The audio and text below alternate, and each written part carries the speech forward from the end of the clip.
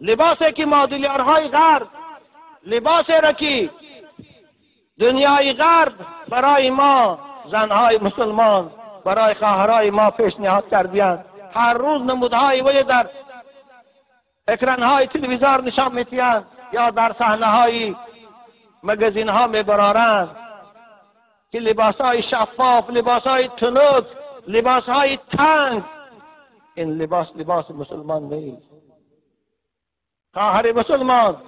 أو لباس लिबास تو ही तूने इसमाइल लिबास लिबास ही तू जखियास أهل سلاف این گذشتگان ما میگویند که از سیاب الرقاق سیاب الفساق. لباس تنف این لباس زنهای فاحشه است. لباس تنف پوشیدن این لباس زنهای بیعفت و بیناموس است.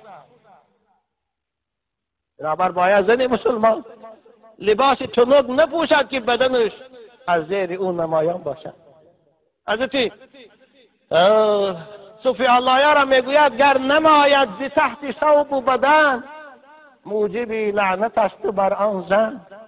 اگر خواهرای مسلمان مانند که امروز کامبخت ها برآمده شیفان ها برآمده اگر شما اونها را به تاپوش پوشید بدن شما دست شما یا گجای شما تاب است شما در لعنت خدا